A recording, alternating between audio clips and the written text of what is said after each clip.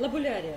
Лабулярию размножают посевом семян в открытый грунт в конце апреля, начале мая. Но я буду делать это сегодня, 10 марта, у себя дома рассадным способом. Почему я сею семена лабулярии на рассаду? Да потому что они очень мелкие. И э, ветер может их разбросать или неблагоприятные погодные условия могут просто-напросто погубить их. Лабулярия, лабулярия зацветает буквально спустя два месяца после посева, и уже в мае я смогу любоваться нежными ароматными цветочками этого замечательного растения. Итак, приступим. Насыпаем наш контейнер грунт. К почве лабулярия не требовательно, подойдет любая нейтральная или слабощелочная.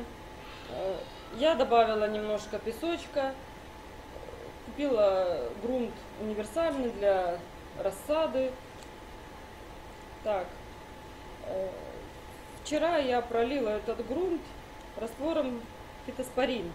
Это фунгицид широкого спектра действия. О нем я говорю в каждом видео. И не обхожусь без него ни при одном своем посеве. Так, вот, насыпали нашу земельку. Слегка так утрамбовали, не надо слишком прямо так уже прямо утрамбовывать со всей силы слегка, чтобы нашим корешкам было свободно и легко прорасти. Так, утрамбовали. Берем наши семена. Как я говорю, семена довольно мелкие, так что их лучше высыпать на какой-нибудь листочек. Вот наши семена. Наши семена. Их так достаточно много, как мы видим. Так, все до одного. Вот и все. Я воспользуюсь, пролью нашу почву еще раз фитоспорином. Хорошенько так пролейся. Так. Не делайте, конечно же, болото. Вот и все. Можно сеять, э, делая э, такие грядочки с помощью карандаша, либо как у меня вот фломастер. Но я буду сеять э, хаотично. Вот таким вот образом. Вот и посели. Семян достаточно много, еще раз повторюсь. Стараемся, чтобы было так ровненько, аккуратненько. Вот и все. Вот и мы посели наши семена. Э, не стоит э, загущать сеянцы. В дальнейшем сеянцы можно будет проредить или пикировать, то есть рассадить в отдельные стаканчики. Э, далее прижимаем наши семена. Аккуратненько ручкой можете прижать, чтобы они так ближе были к земельке. Вот. Немного так прижали. И поливаем опять-таки из пульверизатора.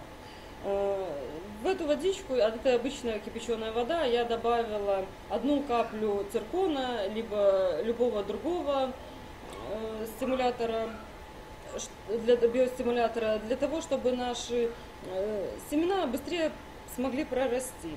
Можно использовать цепин, ну вот я добавила циркон. Циркон также содержит э, фунгицид, поэтому таким образом мы обеззаразим наши семена. Вот немного так сбрызнули, этого хватит. Что делаем дальше? Накрываем обычным целлофановым пакетом.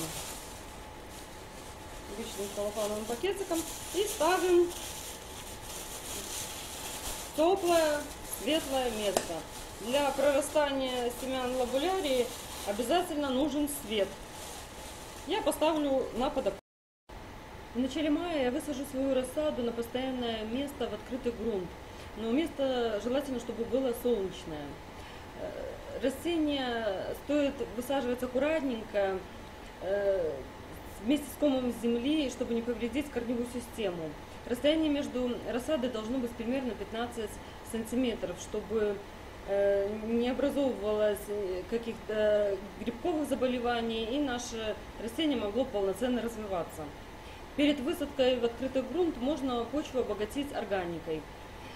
Я свою рассаду, э, э, свои цветочки за весь сезон э, буду подкармливать всего лишь 2-3 раза. Первая подкормка будет комплексным минеральным удобрением перед цветением.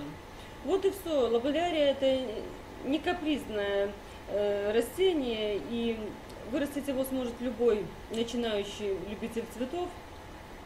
Вырастив здоровую крепкую рассаду, мы сможем любоваться. Лаболярия порадует нас своим э, долго, долгим цветением до самых заморозков и с приятным таким медовым ароматом. Удачи!